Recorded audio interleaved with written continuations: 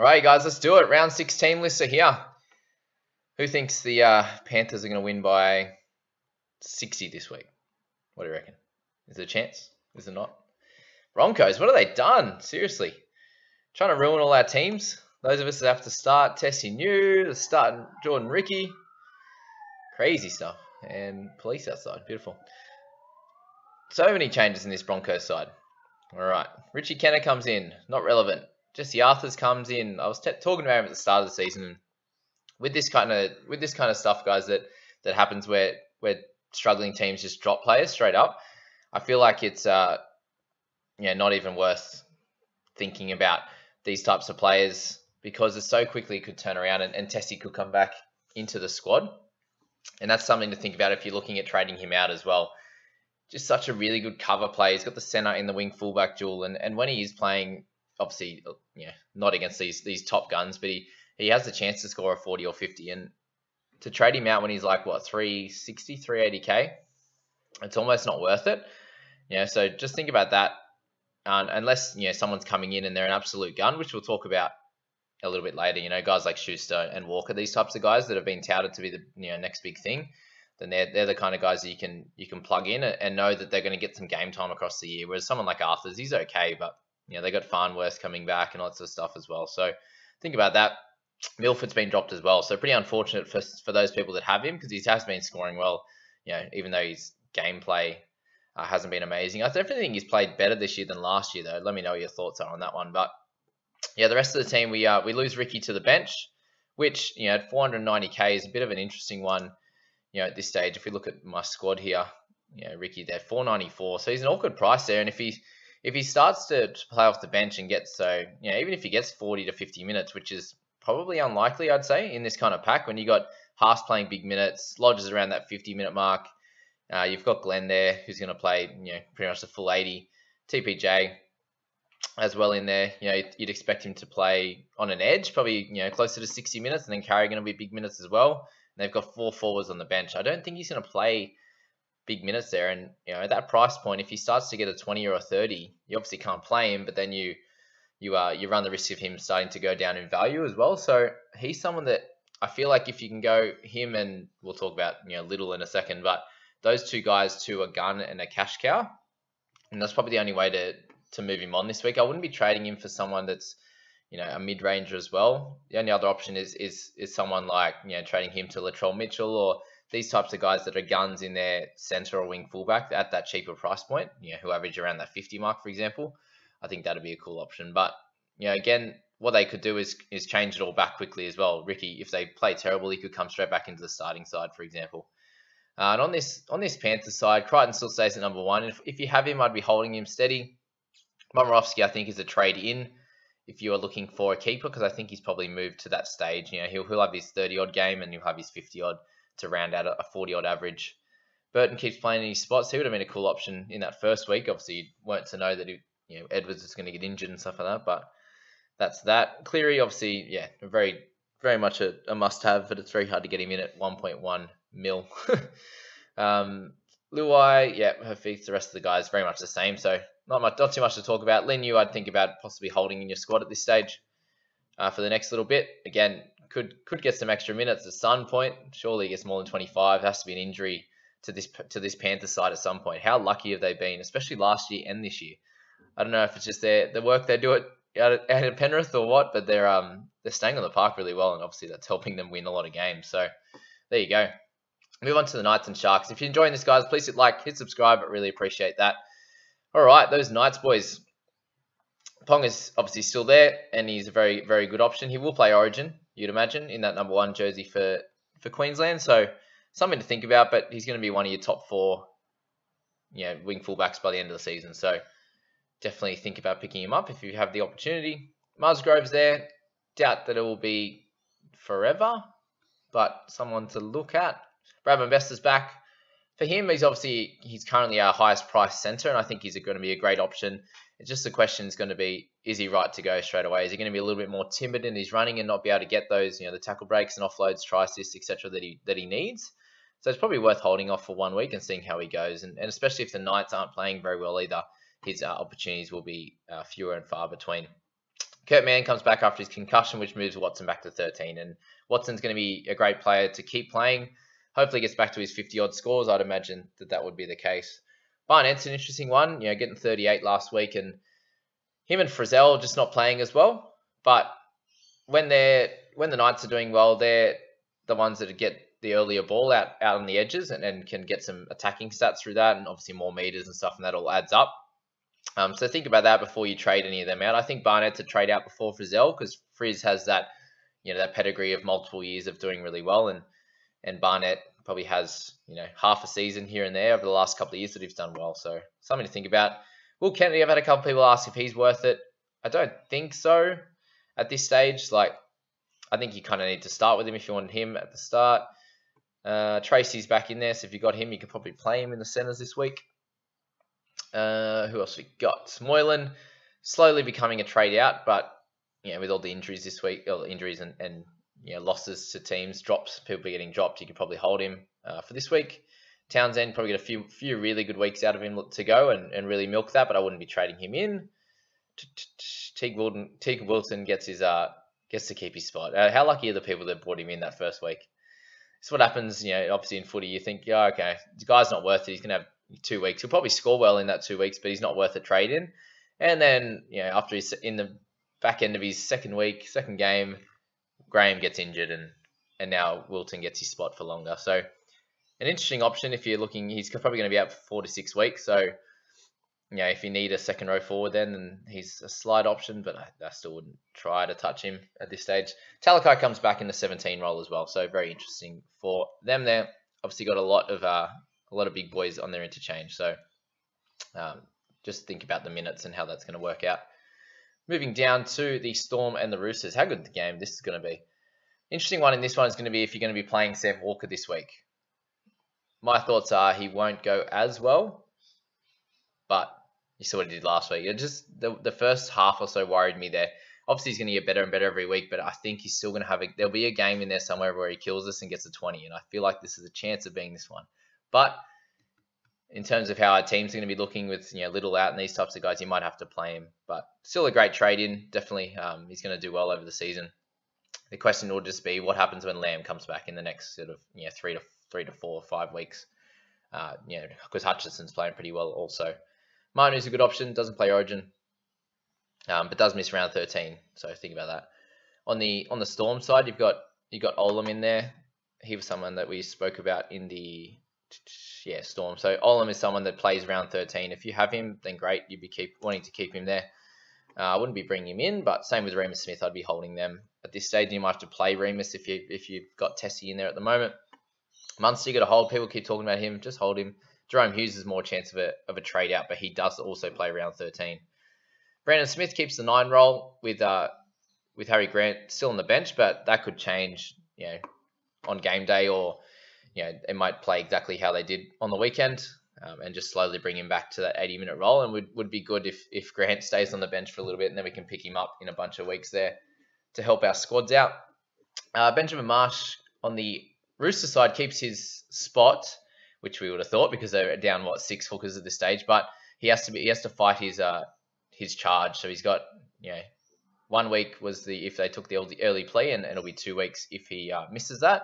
So keep an eye on him, but he's going to be a solid option over the next few weeks. He does have Kieran, who's back now, who will probably spell him at the hooking role. So you'd think maybe 45 to 35 minutes or 50 to 30 uh, of you know for the for that hooking role there. But he's fairly cheap and could help you out. Tupouniua, I think you can keep him for his scoring capabilities, but in terms of money making, I think that's that's gone at this stage. And if you wanted to, if you you know, if your chance was to trade him up to a Crichton or a David Fifita or something like that, then you can. But I still think Tupouniua is going to have a 70 score in him uh, very soon if he gets back to you know to full health and, and can do well there. So that's my thoughts on those two teams there. Just just you know people are still trading in Verrills. Just just wait, just wait with him. He's not there yet. Um, yeah, he's not even getting close to the reserve. He's still got a bunch of weeks away left yet. All right, Eagles Titans. So, all right, not too much to talk about. We do have an Olokat Olakatu. I don't know how to say it. Olakatu. I'll try that one. See what you know. Let me know how uh, how I should be saying that in the comments for my uh for my I don't know if that's Maori for my for my Kiwi boys out there. Um, Schuster's still in there doing well, and you've got to keep playing him. For Lockie Croker owners, you have him there scoring okay. You probably get the 50 minutes again with with Cuss there. You could probably milk him for one more week. You know, he, he scored 50 odd last week, and you could hold him again if you need to trade him out. Probably don't have to because we've got a bunch of other issues, so I'd keep him on there making you money for this week. Um, but what do we got? Goz, yeah, Goz is out, obviously injured, and and you've got someone like Sironen coming back fairly soon. So I wouldn't be again, wouldn't be thinking about Olakau'atu, uh, but you know, it could happen. It could be the same thing as Teig Wilton, for example, where he comes in and does well, and, and, then there's another injury in there, which we hope not for the poor Manly boys. Tommy Chop's back, which is great. On the uh, Titan side, not too much new there. You, know, you got Peachy. There's a lot of good options in this team. Fogs, Peachy, Corey Thompson, Brimson. I think is very, getting very close to a trade in. Uh, Fa'asua Malawi, he uh, unfortunately is struggling. if you held him for, for the 80 and got the 22, it's a nice, a nice average of about, what, 50 odd um, over the two weeks. So I think he's a trade out. But they are playing the Manly boys, and it could be a fairly close game, or they could smash them. Who knows? And he could get some attacking stats. So completely up to you what you want to do with that. But again, trade up or trade down to a cash cow. Rabbitohs and Tigers, and here's the big game. Obviously, the Rabbitohs boys are flying. Not too much new on this side. We've got Koloamatangi still out for a week. Uh, Benji moves back to 14 for Cody Walker coming back in. So that's the only real change. You got keepers in Gags, Mitchell, Graham. Reynolds is doing okay. Cook's in there. A lot of people still trying wanting to trade Cook out. Just remember he's going to be volatile and he's scoring this year. He's going to have his games where he's really good on the attacking side, and then he's going to have his games where he gets the mid 40s and gets an early rest. So hopefully this game's a little bit closer and, and he can keep that 80 minute role, But please don't trade him straight to McCulloch. I think that's a stupid idea. Uh, on the Tiger side, we spoke about them in the uh, in the buy schedule videos, and, and, they play round 13. So be thinking about these guys. Daine Laurie, Roberts. I think you know you're probably not going to hold him until round 13. I, I, doubt. So he might be a traded option, but you know this week, if you've got Tesi, you might have to hold him, uh, Roberts, and, and and play him. Tommy Talau is getting a lot cheaper, and this could be an interesting one come closer to round 13, is to bring him in to play that one and and ha- have him as cover for center or wing fullback and, and move him on later in the year if you want to, if he starts to play well and make some cash. Um, Adam is a really cool option. Not going to play playing Origin, and they play the first buy round, so think of him. Brooks, keep holding him. I will be. A big one is Mr. Liddle is being dropped. He's in the number 18 jersey, and we'll see what happens come game day. But Simkin is one of those kids that have been touted to to do great things. So, You know, not not as high on him as like a, a Schuster or a, a Walker in, in that in that frame that you know people have been talking about him, but he's been killing it in um in his New South Wales Cup game. So and you know look great in the trial game, and a lot of people have been talking about him. So he's one of those guys at 228 that you could plug in, um, you know, using as him as a cash cow, but at worst a cash out, who's going to score pretty well when he plays. Um, I'd I'd even tempt to play him this week in your in your on your reserves if you, you know, if you had. You, you could probably play someone like Alvaro over him, but anyone under Alvaro, I'd say you'd be playing Simkin, which would be which would be cool because he's gonna, you know, you'd expect him to play 50 odd minutes and, and score pretty well there.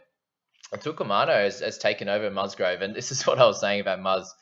He uh, he could score well for you for a couple of weeks, and then they just you know they just change it up, especially with the Tigers and how they do things. But Stefano's been playing really well, and he's earned. I'd say he's definitely earned his spot in the starting side. And if that means more minutes or not, I'd expect him to at least have the 41 minutes that he did last game. So if you think that's enough for him to score a 40 and, and be good enough for your side, I think that's, you know, you could almost play him this week, you know, with some upside of possibly playing closer to 45, 50 minutes. So something to think about with Utoikamanu there.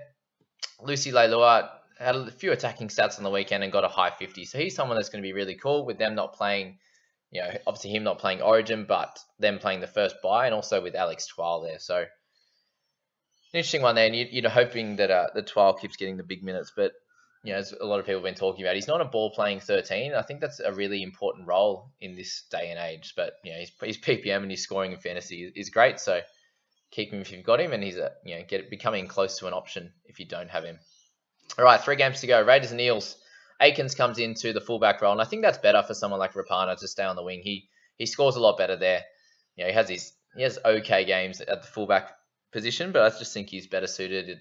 You know, getting the kick returns and, and running cross field, Palmer blokes off, doing you know getting his breaks down down the outside. I think he's much better in that role than than being a passing you know fullback etc. So uh, happy with that for him and any owners like that. Uh, Papali'i is doing okay, but again, I probably wouldn't be targeting him at this stage. Tapani's struggling a bit. Hudson Young's doing well. So Tapani probably give another week or two, but you know, I've spoken about him in the pre- in previous previous episodes. Is that he's someone that just doesn't get enough minutes. Like he he's very much that in, impact play, and if he scores tries and you know makes a million offloads and tackle breaks, then he can get a sixty or seventy. But when he has a, a slow game, he gets to thirty, and it really just brings his average back closer to that you know high forties to fifty, and, and kills you there. So annoying for him, but there you go. On the Eel side, Opper still doing well. Not a keeper. Fergo, same thing, doing all right. Not a keeper. Uh, we've got Will Smith in there, so Brown's taken a, a early guilty plea for he's been charged, so he's out for the week, uh, which is really good for for Moses. Obviously, you'd, you'd imagine he you know he's going to score pretty high in this. Uh, you'd expect it to be a pretty tightly contested match against the Raiders, so still a great option, and, and they're someone they're a team that plays in that round 13 as well, which is really cool. And you know you can have him in there and plug him in, but obviously you've got a lot of guys just uh, Cleary, Walker, O'Sullivan. All these guys doing really well. So I wouldn't. I don't feel like a half is a, a big target at the moment. I'd rather get a mid or, or an edge or even a you know a center or a wing fullback to, to help you help your stocks out there. But yeah, Reed Mahoney's doing well as well. Keep him going. Madison's back. Whether he plays or not is a different story. I hope that he's okay. Isaiah Papali'i moves back to the bench, and a lot of people are picking him up, and he's he's not ridiculously overpriced now. He's he's priced in the in the low 50s, so a 52 kind of average, just over 700. Um, but I think that's where kind of where he's going to be averaging around that 50 to 55. So if you feel like he's going to be able to do better than that and keep up his amazing form over the first five games, then by all means bring him in. He's not going to play. Uh, he'll be playing the first buy round as well, so that'll be helpful. All right, moving on to last two games, Dragons and Warriors. Uh, Bird becomes a really interesting option in the centers if you need a straight swap because he's 405k, Tesi Niu 360 odd. Uh, that could be really helpful for you. Uh, Clune's been playing really well, but again, not, not going to be fantasy relevant. We've got Ben Hunt coming back soon. Where does he end up? Does he end up on the bench? Probably he does. Probably the big news out of this is the fact that Josh McGuire has been signed with the Dragons, and he could play as early as, as this week, which I don't know how much good that does to someone like Alvaro. Who gets who gets dropped? Is Kaide Ellis get dropped? You'd imagine so, right? Merrin and Alvaro have been too good. Like Kerr's pretty solid on on the edge there. Lawrie's been doing pretty well. So, you know the whole team's been doing well. Where do you fit him in? I think Ellis might be the guy to to make way. And, and how many minutes does McGuire play? And that's, yeah, scary for someone, you know, an Alvaro owner, for example, or a Fuimaono owner. Does he take Tyrell's spot? Jeez, that'll be interesting. Um, but yeah, that's that's the only real thoughts on the Dragon side. And on, on the Warriors, you got Peta Hiku comes back into the team for Fusitu'a. He's finally gone. You can finally get rid of him. Um, Montoya had a head knock, so he has to pass through some HIA protocols, but should be okay. Uh, Cody and Sean O'Sullivan. I think probably last last chance to get O'Sullivan before he, his price exceeds too much. And again, we've got so many half options. It's like, do we want to spend more money on on O'Sullivan? I think last week would have been a really good opportunity. Um, don't expect him to score 60, 70 every week, but um, doing amazing if you own him at this stage. Leeson Armour keeps his number eight spot. Tohu Harris stays in the number 10. And we've got Bunty Afoa back on in the 15 jersey, and a lot of people are really tempted to pick him up. And yeah, look, I think he's a decent option, but I wouldn't be trying super hard to get him in your squad. Josh Curran comes in onto the number 11 jersey, which is which is really cool. Eliesa Katoa has been dropped, so interesting to see what's going to happen with Curran, and obviously um you got Sironen injured as well. So there's a few things to think about with that one, and you know, as to how long these guys are going to be out for. So he's a pretty risky one, even though he's at 228k. I think he's fairly risky. Murchie played pretty well and he kept his spot also. Jazz Tevaga, a lot of people talking about. Just remember, they're not going to be playing in the round 13 bye. He should have some decent minutes here in the number 13 role, but yeah, how long that lasts for? He last last year I picked him up and he did really well. Yeah, average average just over 50 kind of thing, and, and did a job. Um, and has a, the chance to go big and get a 60 odd 70. So decent option, but I would again wouldn't be tearing my team apart to pick him up. I'd probably just rather Papali'i over Jazz at this stage, given he plays around 13 and has been scoring a bit better and a bit more consistent uh, with those minutes as well. So that's that side on the Warriors. Tanor Brown came comes back as well this week. And our last one, here we are. Two in a row. I think it's already set, isn't it? We're going to win two in a row. What do you guys think? We're uh, we're on we're on the charge for the top eight, flying. We'll be two from six. That's my call. these doggies, hey, they're struggling big time. And if you've got Kotrick, he's still on the bench and for, uh, on the bench on the on the wing for your Cowboys side. Holmes is doing okay. Hampton is probably the only interesting one in in this uh, in this team uh, at this stage with uh, with his 51 on the weekend. And you know, you think about it, they got absolutely smashed, and he picked up 28. Played well this week. He got 51. I don't think he's played a lot of um a lot of half for, for years. So you know, he, he's looking okay. And the way that the game's played at the moment, the the dominant half seem to score really well in, in every, in every team. Like you see what Townsend's doing.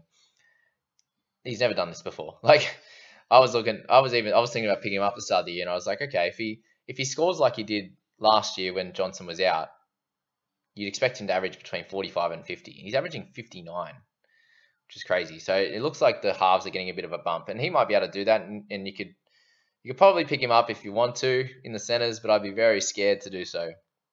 He covers what wing fullback and center, which is which is cool, but I don't know. I feel I just feel have this feeling he's gonna bury us. Could do well for a week like this week against the Dogs and then struggle from there. But Taumalolo comes back. Lockie Burr keeps his spot on the bench, so I'd like to see what Lolo does for a little bit. He they have a buy the first round, so um, he might be a cool option if he if he bottoms out in price and then starts getting bigger minutes. You might be able to pick him up around 14. On the uh, on the dog side, you've got Averillo keeping his spots. He's he'll be a good one to play at, uh, in your centers this week. And who we have? Luke Thompson's playing in the 13 role. So what do we got? Um, Josh Jackson just said that he. I just read that he um he's torn his calf, like partial tear of his calf, so it should be three to six weeks. I think Thompson's going to score pretty well. I really do. Um, yeah, it could be. If he's getting decent minutes. Again, unfortunately, they don't play round 13, but I think he can score pretty well for your side over the next you know six seven weeks and and make a bit of cash and, and score closer to that 50 mark if he's getting you know closer to 55 60 minutes. But again you're looking at their bench and they've got all middles in there. And obviously uh, Torpany came on and played 35 minutes last game and he'll probably do the same. So uh, I think well done if you picked him up last week but I don't know if he's a pickup this week when you got someone like Simkin who you can pick up at a 228 for example I think that's probably a better option Adam Elliott went back and, and, and had a better game this week and again, when they when they get some attacking stats, he's going to get that 55, 60, 65 scores. Um, that's about all, guys. There we are with the with the team list for round six. Let me know what kind of trades you're, you're looking to make this week. Um, as I said, please go back into all the previous videos of all the all the games for you know the wrap up games for round five, and that would um, that will really be able to help you make some decisions on your team. And then just take some of our advice with the with the cash cows I spoke about. There's a few I'm interested in, a few I don't think are that great. But please, if you can, just go through those videos. I think they'll be really helpful in, in making a decision, just so you're not flooding the comments with, uh, you know, do I trade this for, person for this person and stuff like that. But I say, guys, I really appreciate all the love and support. Please hit like, hit subscribe if you're enjoying this, and we'll see you in the next bunch of videos. Have a good night.